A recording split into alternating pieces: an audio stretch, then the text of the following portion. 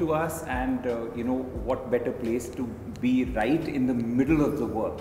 You know there aren't very many um instances where I can recall that I was inside the work to experience it. You know, so that's the way this has been set up is uh, is really giving giving me that immersive feeling in, in ways more than one. Um, but just taking a step back, uh, when is the first time that you got introduced to Jayashree Chakravarty's work actually? Ah, that's a long time back, Rahul, and I remember that I saw her work at Gallery Espace. I did see her wo- work also at the Lalit Kala um, in a group show, and I was familiar with some of the images of her works, but I came to know her more uh, closely uh, when I got a chance to curate an exhibition which was to happen in Nice. But since then, I'm actually be, I've been in conversation with her, is what I can say. Um, it was uh, very interesting. I was looking at her paintings earlier, and I found them very intriguing, very elusive. I loved the way she treated the surface of the painting, and she had this kind of a really free spiritedness in terms of uh, approaching her work. And there is something um, extremely wild and messy and chaotic that came through in those works, which I uh, responded to because one, I felt that uh, um, it was gestural, it was immediate, it was raw, it had it was full of energy. Something that I really responded to, but I was much more drawn to her practice when she made this shift. You know, when she really felt that the easel painting was in some way um, limiting for her. Hmm, containing you know and containing her and she really wanted to spill out more. And uh, these borders and boundaries uh, somehow restricted her flow so but she had no way to go in the sense what would she do? She can either go and make bigger canvases or larger canvases. Right. but that was not what she was looking for. And i think this shift towards uh, making her own scrolls you know and that too going back to paper nonsense. Right, right. became very exciting you know in terms of uh, what she was doing. She could not find paper of that size she wanted paper that could actually um, you know um, start from the floor and touch the ceiling and actually take that space that entire space engulf like we have been engulfed, engulfed in this space. And uh, she started working with she was uh, struggling i suppose this challenge was there. She was uh, gathering composites of paper uh, pieces of fabric and trying to put them together almost like stitching them but not stitching them superimposing gluing them you know and making making these scrolls So, uh, Jayashree makes these papers. herself. Yes, she makes this herself, and uh, so they are handmade in that sense. Uh, first, when I uh, spoke to her about them, she was telling me, and let me just start with this work because this is now a, a work which takes us back 18 years in time, you know. And she had done some scrolls earlier. In Lalit Kala, I had seen scrolls which were uh, again from the ceiling, uh, from the floor till the ceiling, maybe 16 feet, maybe 17 feet. But they were leaner scrolls, and they. Uh, what I found very interesting was the process.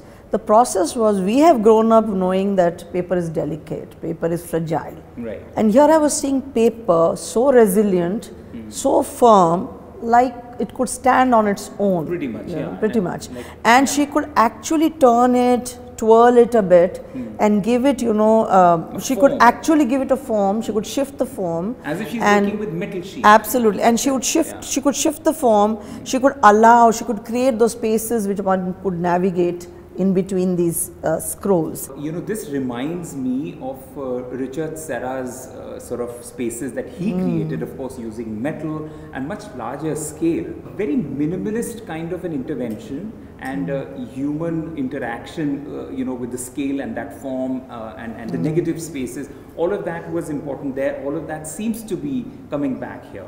But uh, what is extremely um, uh, contrary to that minimal approach is the maximalist approach on the surface here. Yeah.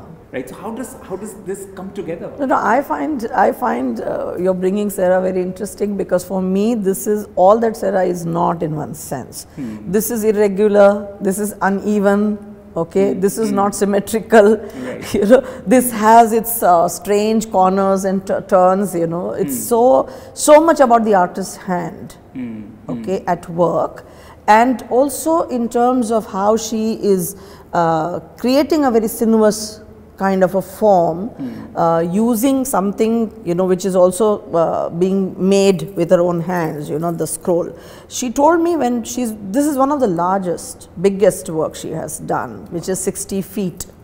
Okay? And the sister work is right now being shown at the asian art museum in san francisco. Well, right now, as we are. Yes, it's it's installed there. Because these were only two works that she did of this size and scale, and I and I feel what she was uh, what she was trying to do here was, you know, she has been very inspired and drawn to uh, nature forms which are which are which have an, an interior or let let's say which are something like a cocoon containing. a containing form, a hmm. sheltering form, you know, an engulfing form, hmm. you know, somewhere where you feel comforted, somewhere hmm. where you can sit in solitude, you know, be in your own space kind of thing. She wanted to create an interior space, but she also wanted that it be experienced in and out. Right. Okay, you actually experience the interior, you sit.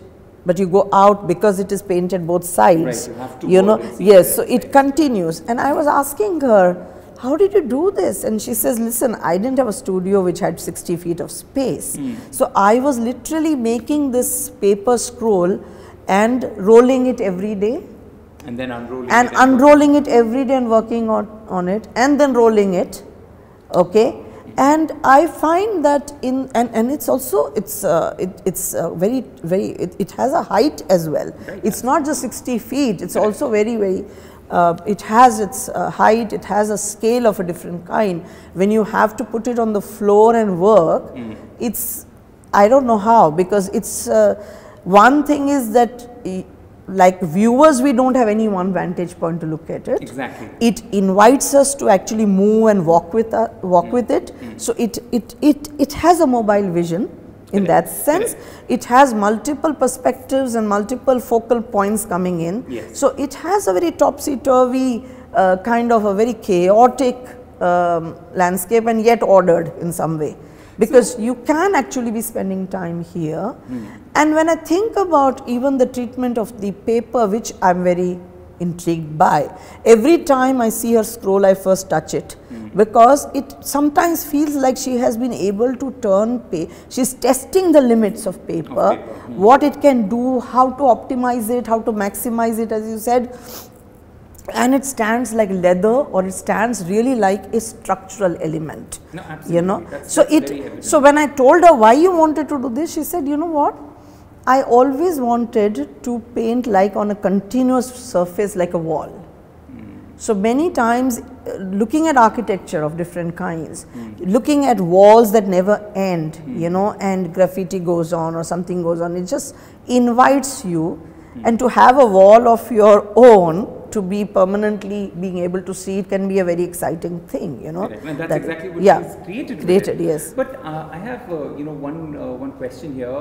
It seems extremely spontaneous at Mm-hmm. one level, but at another level, exactly what you said. There are uh, focal points. There are there is text. There is Yeah. detailing, Yes. Mm-hmm. uh, and and there are recognizable sort of forms that come and they throw a hint at you.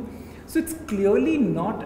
And again, again, I'm drawing a parallel with a Mm-hmm. with a Western abstractionist like Jackson Pollock, for example, right? So there is no starting, there is no end, right? It's just it just flows, and Yeah. uh, as a viewer, you can enter at any place, right? And make make that your journey. Yeah, right? that's true. Um, but tell me about the whole uh, process of her working. I mean, was it spontaneous, which it seems, but then, like I said, it's also layered with a lot of thought through uh, intervention. If Jayashree was here, she would say, I the only thing I don't know is where to stop. Okay, I know I can keep on doing things. I can Yeah. keep on, it's like drawing, redrawing, erasing, redrawing, you know, it would just go on. It's an, it's a process she so enjoys because it's so immersive. And I think uh, uh, I had a very interesting conversation once where we were talking about, I have seen that she never has a premeditated plan. She never, never draws her on her canvas. She just starts and it is a play between instinct and intuition. You know, there is instinctive uh, play, but there is also uh, uh, a stop, a pause, then returning back. And intuitively, there are, as you said, points where she knows that she might have some structure here, some ruin there, you know, some letter, even some letters flo- floating here, here, some maps being charted, Yeah, yeah, you know, yeah. some territories being laid out, some terrains being opened up, you know, all that is uh, uh, coming out, you know, spilling out. It's almost as if there is this accumulated sense of experiences, Hmm. and those accumulated experiences then take, then just tumble out, you know. But in that inchoate moments, and I, I mean the mess that is hmm. there, hmm. there is still order, there is still aesthetics of some kind, hmm. there is something that keeps drawing or pulling our attention here and there, and there, there is a way to read this, you know, there is a way. You can enter certain uh, you know, uh, areas, certain zones, certain places, especially in this work, and I'm glad you brought it up. This work has a lot of text. I don't think she's ever used text like she has used in this work. And this was a phase, she says, in her life when she was very drawn to phrenology because her father was a doctor. And the, his, her father, she was very close to her father. Her father used to be seeing these, uh, you know, um, uh, X-rays, scans, and MRIs, and all kinds of things, reading those interior sort of maps, and uh, you know, Right. and there would be remarks there. And she was very much drawn to those remarks. What a It- fascinating parallel. Uh, specifically talking about the surface and the imagery itself, you know, eh, at one level, uh, you know, you can't avoid thinking animal skin, which is stretched, kind of a feel to it. Uh, there is. Uh, you know there is a use of a lot of line which is primarily black and at, at places it is white um, you can tell it is you know sourced from nature in some way. It also feels that it is aged. It is it is it is layering through age. And there is lots of layers right? So what are the uh, you know uh, interpretation of the image itself uh, you know from from her perspective? What is she trying to do with that? You know, what I have understood is that her primary uh, preoccupation has always been habitat. You know, how do you look at the face of the earth? How is it occupied? What is occupying it? There is nature, there is land, there is earth, there are earth forms. Okay, and then gradually the disappearance of nature, hmm. which also comes into her work very strongly, isn't it? What happened to Salt Lake? Right It, how did it turn into a concrete city? Correct. Okay, how did, uh, what this kind of an urban congestion means, you know, it takes away different forms of life. The forest You know, the for, yes, it goes away, Yeah. aquatic forms of life died, you Yeah, know. yeah. There is loss. And this loss talks about ecological balance and ecological duress in some way. It may not directly reflect, but there are so many concerns about what happens to habitat. In this whole notion of history and progress, we have destroyed quite a few things on the earth. Absolutely. And one of the things is this whole, uh, you know, the the uh, what her I think plea is that she wants that uh, you know all forms of life could harmoniously coexist. Those insignificant creatures who we think are not important, but they also have their role to play in the No, ecology absolutely, of uh, you know. So there are these things, and I think so. If we really want to actually cut down and you know dissect, we are not going to be able to dissect the hmm. work in that sense hmm. because the imagery is of this kind of holism, you know, of hmm. life. You know, it is about this wholeness, okay. And there are layers and layers coming up in and out. You know, she's going in and out of layers somewhere. But that's a very fascinating structure. She's uh, recollecting some kind of a monument or a church or uh, some building, and it comes. I've seen it appear in many of her works. So there are things that come. Uh, and in this work particularly, I was even able to see, if you concentrate more, Hmm. you are even able to see humans. You see some faces as if they are witnessing what is happening and changing in front of them. Right, this right. whole transformation that is happening, you know, the changing world, the mo every moment things are changing. Things are changing, and you know, there's a very interesting uh, thumbprint. thumb kind of, are there there are some other kinds of prints as well Yeah. so it's more actually i think it's more loaded within uh, inside with all these images Hmm. outside when you walk you see a lot of dribbles you see a lot of free uh, free uh, free flowing maze and labyrinth kind of uh, you know drawings you see a figure or a face that is standing as witness uh, it's very different on the other side Hmm. but I feel in this work, and I especially want to stress on this because I have been writing on a work for now um, two decades. Uh, what I feel is this is not a translucent scroll. Hmm, It isn't. Yes. This is a opaque scroll, and at that time, 20 years ago, she was doing scrolls which were not translucent, which were not the kind where she was actually sandwiching between these uh, pieces of paper. pieces Yeah, she was not putting organic materials. Right, She was not using that as yet. So everything that you see is outside spilled out in the imagery, okay, which later then you know gets into um, takes on another form. Right. So because these are opaque, you know, the, the treatment is very interesting. I tell her when I look at this work, I feel like all kinds of building material. The, these are all colors of building material, Correct. whether it is stone, whether it is cement, whether it is uh, you know lime, whether gypsum, Yes. whether soot, whether uh, chalk, whatever. It's ev- the building material is uh, these are the colors of building material. Therefore, they do feel. You know, you feel the solidity of this Hmm, Actually, structure. true. You Yeah, feel as if you are seeing a rock wall. form, a yeah, wall form. yeah. You are actually seeing a sculptural form and not just something that has been painted or created out of paint. And I think that is something extraordinary in Jayashree. Like kind of cave feel. It's a cave field and she's very drawn to cave also. Okay, so the when you talk about impressions, you talk about imprints left behind. yes. You talk about age, you talk about time. You know, all these are concerns. I think time is very much a factor in this work. You know, it is about time. It is about change. It is about transformation. It is also where we are headed to.